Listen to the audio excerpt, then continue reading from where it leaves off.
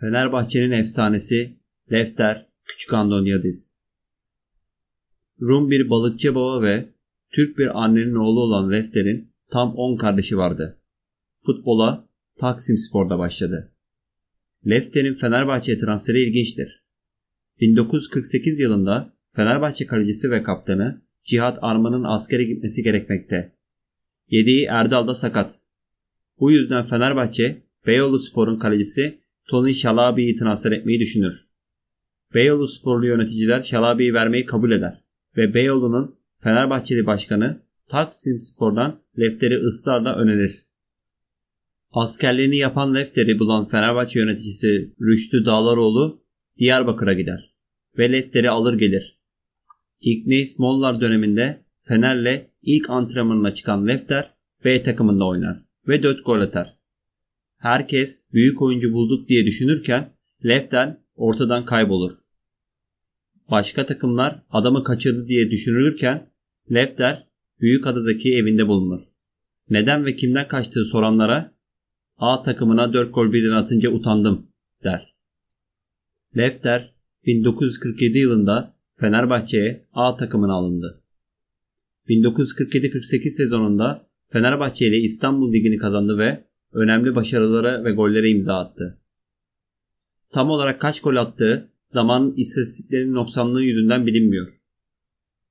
1948-49 ve sonraki 3 sezonda Galatasaray Metin Oktay önderliğinde 3 kez şampiyon oldu ve Fenerbahçe şampiyonluğa hasret kaldı. 1948'de Yunanistan'a karşı oynanan maçta ilk kez milli maçta forma giydi. 3-1 kazandığımız bu maçta Lefter bir tane de gol atmıştır. Maç boyunca Rum asıllı olup Türk milli takımında oynadığı için kendisine küfreden Yunanlı savaş gazilerini susturur. 3 gün sonra İstanbul ve Atina karması adı ile iki takım tekrar sahaya çıkarlar. İstanbul karması milli takımının yedeklerinden oluşuyordu.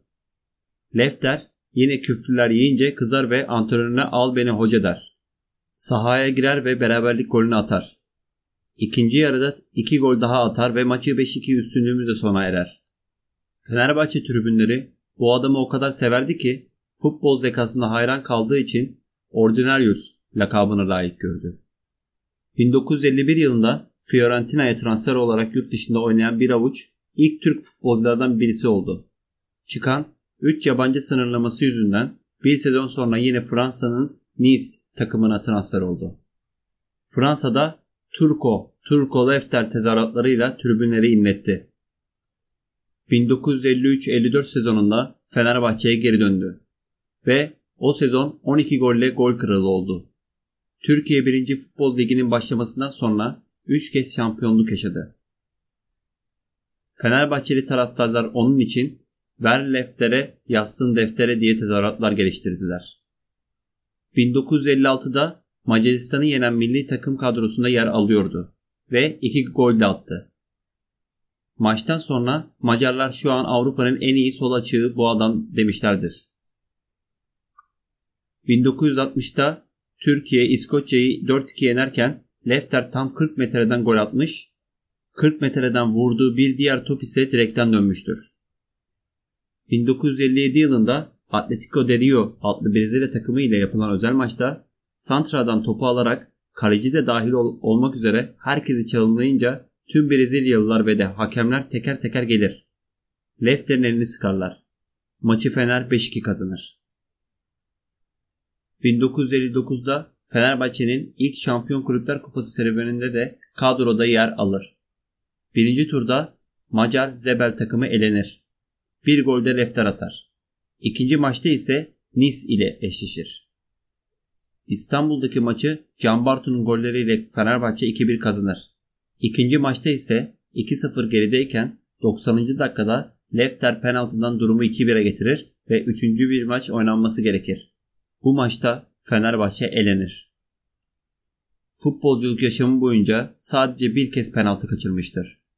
1960 yılında Beşiktaş maçında Varol Lefter'in penaltısını çıkarır ve kendisiyle dalga geçmeye başlar. Daha sonra aynı maçta Lefter Varol'a kornerden bir gol atar ve Fenerbahçe maçı 2-0 kazanır. 1960-61 sezonu sonunda Lefter Fenerbahçe'den ayrılarak Atina'nın AEK takımına transfer olur. Burada 5 maç oynayıp 2 gol attıktan sonra Helikles'e karşı oynadıkları maçta sakatlanır ve futbol kariyerine son vermek zorunda kalır.